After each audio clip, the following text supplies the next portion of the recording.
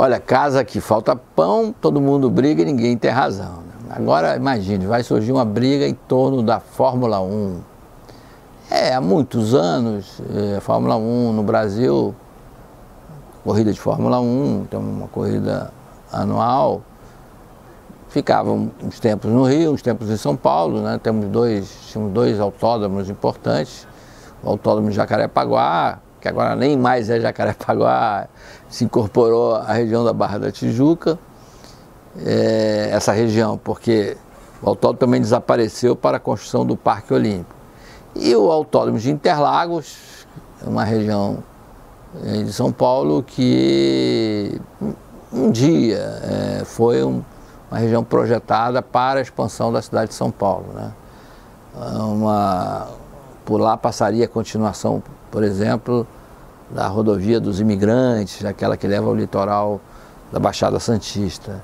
Enfim, é, e aí construíram um grande autódromo lá, enfim, se tornou a, a base da Fórmula 1. Bom, primeiro tem que ver que, seja no Rio ou em São Paulo, pouco importa para o Brasil. Né? Quem vem, os patrocínios e tal, movimentam, focam no país, não focam exatamente na cidade. É, nem sei se São Paulo precisa de, da Fórmula 1 hoje, se é tão importante para a economia lá. É, mas é sempre bom, enfim, é uma questão também de, de vaidade, né? E para o prefeito da cidade, agora vai ter eleição no ano que vem, para o governador Dória, seria ruim uma perda. No entanto, é, por questões, acho que de marketing ou de interesse, os organizadores da Fórmula 1 parecem que querem dar uma variada.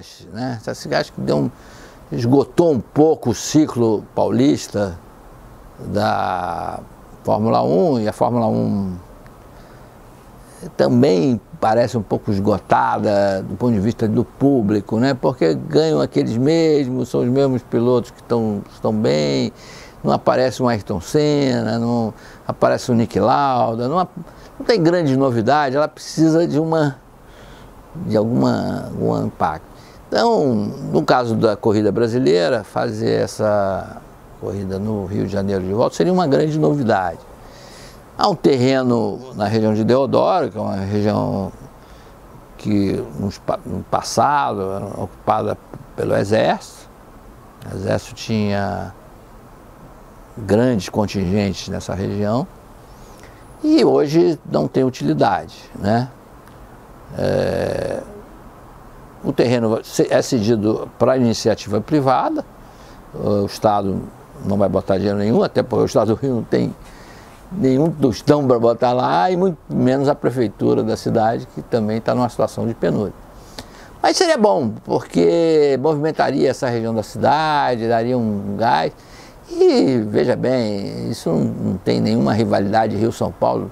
São Paulo é uma cidade que hoje está anos-luz à frente do Rio de Janeiro, não tem nem como comparar a dinâmica econômica de São Paulo com a do Rio. O Rio realmente perdeu muito da sua própria vocação, não está esperando o petróleo dar uma, uma, uma salvada aí para. é, mas enquanto não vem essa tábua de salvação, a gente fica no Rio de Janeiro buscando uma pequena saída. Então seria bom, seria bom para a Fórmula 1 também, porque é, e não dá para chegar a um entendimento. É, nessa área sem que haja prejuízo para ninguém. Né? Pode fazer, daqui a só dois anos, seria a primeira corrida de Fórmula 1 no Rio de Janeiro. Isso é importante para a cidade? Isso é uma prioridade? Hum, não sei, mas a gente também não pode dizer, não estamos numa economia socialista. Se tem um investidor que quer investir ali, ótimo. Esse terreno, se ficar do jeito que está, vai acabar sendo invadido porque o Exército hoje, não, não faz sentido o Exército ter o contingente que tinha no Rio de Janeiro. Aqui no Rio era a capital do país, então você precisava ter essa área mais protegida. Então, e tinha aqueles regimentos de artilharia de costa, né? Isso tudo foi superado, quer dizer, pela tecnologia. Você precisa ter submarino, você precisa ter caças, bombardeiros. O exército tem que ter outro tipo de, de, de atividade. E o exército está concentrado hoje naquela fronteira do Brasil mais problemática, que é na Calha Norte, lá no, na, na região amazônica, né, na região com, no centro-oeste. Não é mais problema no, no Rio Grande do Sul, na Argentina não vai mais invadir o Brasil, o Uruguai muito menos, nem o Paraguai, né? E a gente tinha esses contingentes enormes de forças militares que não são mais necessárias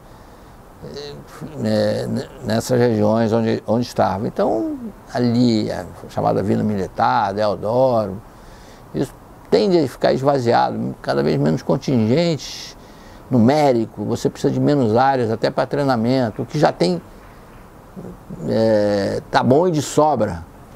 E aproveitar aquilo, é, inclusive uma estrutura nova de transporte que existe, né, os chamados BRTs, que tem acesso ali, é, seria uma boa, né? Eu não vejo mal nenhum. É, o, o, Rio precisa fazer uma carinhada ali com São Paulo, né? Não, não ficar brigando. Essa briga, inclusive, não, não leva a nada.